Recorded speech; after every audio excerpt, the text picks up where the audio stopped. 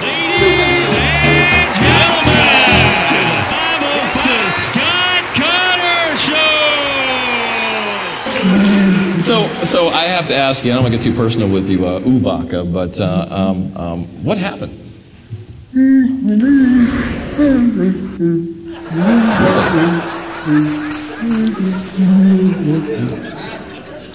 Jeez, that sucks. Twice.